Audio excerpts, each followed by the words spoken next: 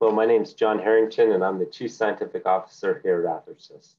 I'm also a co-founder of the company, and I serve on our board of directors. A few words about my background. I began my scientific career at Amgen in the manufacturing process development group, working on Neupogen prior to its approval. From there, I went on to work for several additional biotechnology companies before doing academic research at the Scripps Clinic and Research Foundation. I received my doctoral degree from Stanford University in cancer biology.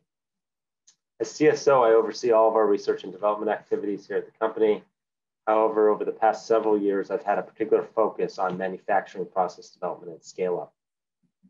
The time I spent at Amgen early in my career gave me some initial experience, but more importantly, a deep appreciation for the importance of process development and scaling manufacturing in order to translate a scientific innovation into a new medicine that can help many patients, you have to be able to manufacture it in a scaled and consistent manner. And essentially, that's what process development is all about developing those techniques and procedures that provide the basis for commercial scale manufacturing. In order for Athersys to be successful, we have several important tasks in front of us. We need to demonstrate the safety and efficacy of multistem in pivotal clinical studies. We need to develop the commercial infrastructure necessary to distribute uh, the product to patients. And we need to be able to manufacture the product at very large scale cost effectively. Our clinical trials are now up and running. Commercial infrastructure is being built. And so I'd like to take this opportunity to discuss with you the work that we're doing to develop commercial scale manufacturing processes. Before I dive into our large scale development activities, I'd like to first begin with some background on the biology of multi-stem cells. Some of the characteristics of multi-stem cells include their mechanism of action, demonstrated efficacy in animal models, and the results of clinical trials run to date. As it relates to the manufacturability of the cells, however, it is their growth properties uh, that enable our manufacturing approach. Specifically, Upon isolation from donors, these cells grow rapidly and can be expanded to well over 50 populations from bone marrow. This represents an expansion potential of 2 to the 50th power or more. Uh, and this in turn allows us to utilize a traditional manufacturing uh, approach, which takes advantage of a master cell bank, working cell bank manufacturing paradigm, similar to what's used for uh, other biologics such as monoclonal antibodies, and allows us to produce millions of doses from a single donor. Our manufacturing process essentially begins by identifying a healthy consenting donor. Uh, that donor uh, is then uh, evaluated, a full health history is run. Uh, we carry out uh, a full panel of safety testing, including testing for such things as adventitious agents, uh, known viral pathogens, etc. Once the uh, donor is qualified, then go on to obtain bone marrow from that individual using good tissue practices. That bone marrow is processed and the cells are expanded uh, over the course of numerous days and numerous population doublings to ultimately produce a master cell bank. That master cell bank is then thoroughly tested, again, for such things as viral pathogens and other adventitious agents. Uh, we confirm that the cells have a normal karyotype, that is, a normal number and structure of chromosomes. We subject the cells to full lot release testing to confirm that they express the appropriate identity markers for multistem and we carry out potency testing.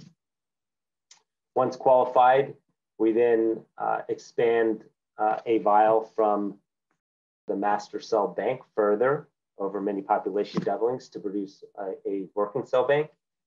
And then from that working cell bank, we initiate manufacturing campaigns uh, to produce uh, the final expanded product. That product is harvested, isolated, purified, concentrated, formulated, configured into vials, and taken into a controlled rate freezing process. And then finally stored frozen for distribution to the clinical sites. Importantly, we invested significantly in the overall product configuration to allow ease of use at the clinical sites. Specifically, the product is formulated in a cryopreservative that can be infused directly into the patient, allowing the product to be thawed and directly administered to the patient without uh, additional cell processing steps. And the vial configuration allows storage at, for example, a hospital pharmacy where it's thawed and delivered to the hospital floor where it can be administered by a nurse or physician. Historically, we've manufactured multi-stem product using a two-dimensional cell factory-based manufacturing process. The 2D manufacturing process has enabled rapid entry into clinical development and progression through clinical proof of concept. The manufacturing process has also facilitated interactions with regulatory agencies around the world, and in particular with the FDA, EMA in Europe, and PMDA in Japan, and has allowed us to define the product with regulators, particularly as it relates to uh, lot release specifications, uh, acceptable raw materials for use in the manufacturing process, and the validated potency assay, validation of the potency assay that we use also in lot release. We have substantial experience manufacturing the product. We've produced several GMP master cell banks. We've produced numerous working cell banks. And we've carried out several hundred GMP manufacturing runs that have been used in clinical trials run to date. Importantly, this 2D manufacturing process is the foundation for establishing comparability uh, of the product with the large scale or commercial scale manufacturing processes that we are now developing. And this will facilitate the migration from our first generation manufacturing platform to the final commercial scale manufacturing platform. So to this end, our process development activities are aimed at two main objectives. First, we are focused on scaling up production to meet our demand forecasts. This involves increasing batch size increasing the number of batches that we produce each year, and increasing the production output from our manufacturing facilities. And second, we're focused on reducing cost of goods. And this is being accomplished by increasing uh, product yield per batch, by reducing our labor, by reducing our facilities costs, and by reducing the cost of raw materials that we use in our manufacturing process. To achieve these overall objectives, we're migrating from a cell factory based process to large scale bioreactors that can be scaled up to, to a multi thousand liter scale process. Since multi stem cells require attachment to a solid surface or substrate in order to divide and expand, we first developed and optimized a process utilizing microcarriers to serve as this solid substrate. As shown here in this 200 liter stirred tank bioreactor, microcarriers are small white solid spheres with the unique surface chemistry that allow multi-stem cells to attach and divide. The microcarriers are less than a millimeter in size, and this small size allows them to remain suspended in the bioreactor with gentle agitation and low shear force.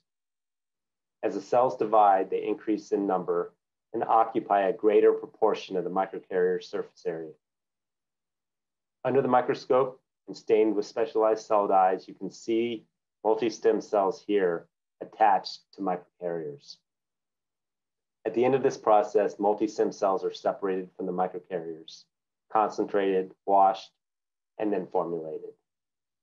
Product is then vialed and taken through a controlled rate freezing process and stored frozen. As I mentioned earlier, the product can be thawed and administered easily at the clinical site by a nurse or physician without any post-thaw cell processing. Shown here is some footage from our process development labs here at Athersys. As I indicated, we are developing multi-stem manufacturing processes at the multi-thousand liter bioreactor scale.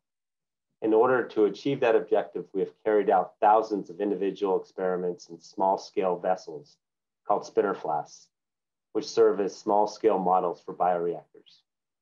This has allowed us to rapidly optimize media, growth conditions, and bioreactor parameters to maximize multi-stem cell quality and yield. As processes were optimized at this small scale, we then carried out hundreds of experiments in small scale two liter and five liter bioreactors to confirm the spinner flask results and to further optimize the cell expansion conditions.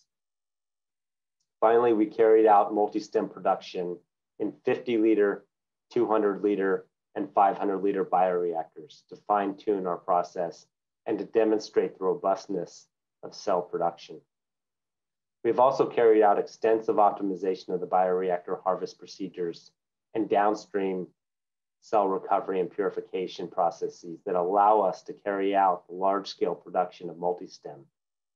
While I am not going to discuss our downstream cell recovery processes today, suffice it to say that there are significant technological challenges to process thousands of liters of biomass in a short period of time, while at the same time preserving cell viability and cell quality overall. We have been successful in developing these processes and have incorporated them into our overall manufacturing process. I would like to take this opportunity to thank our scientists here at Athersys. Through their hard work and dedication, we have made outstanding progress toward our goal of commercializing multistem. I would also like to thank our contract manufacturing partners for their role in working with us to produce product in support of our clinical trials and for their future role in producing commercial product. And I would like to thank our current and future commercial partners who will play an important role in the commercialization of multi-stem.